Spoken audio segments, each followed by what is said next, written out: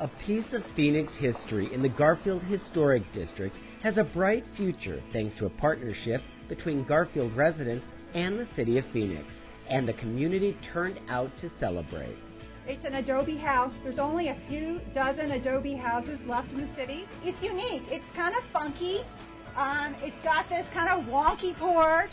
In fact, the 1928 Mission Revival adobe structure is the only curved facade adobe house still standing in Phoenix.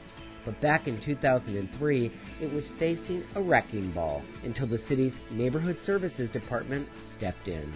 We needed partners to make this happen. And it's very important that as we continue our revitalization efforts in Garfield, that we have these partners together. City of Phoenix Mayor's Office and Neighborhood Services Department partnered with the Garfield Organization and Neighborhood Housing Services of Phoenix to bring this piece of history back to life and my natural reaction was, bring it on. We can do it. And we did it. Woo! A five year labor of love transformed a blighted shell of a duplex located across from Garfield Elementary School into a like new single family home that honors its past. Now, this house has a new future. It once again will become a home, a single family home, a good home. The house was constructed in 1928 by a Russian couple who immigrated to the state in search of a piece of the American dream, so it represents our city's long history of diversity.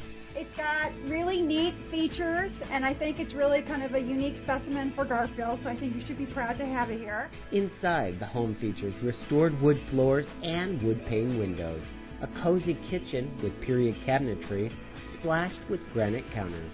Garfield residents see this latest project as another piece in the puzzle that is transforming a blighted neighborhood into a shining example of what urban living can be.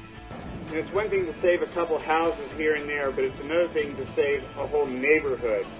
And that's where Phoenix stands and shines. So here's to saving another piece of Phoenix history and saving another structure from the landfill. You might say it's the ultimate recycling project right here in Phoenix. For Inside Phoenix, I'm Michael Hammett.